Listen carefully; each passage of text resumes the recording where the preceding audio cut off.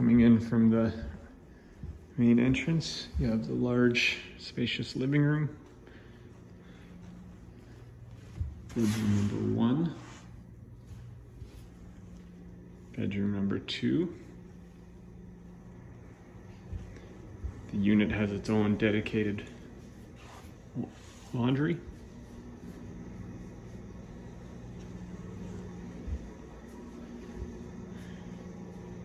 Kitchen area with ample cabinetry.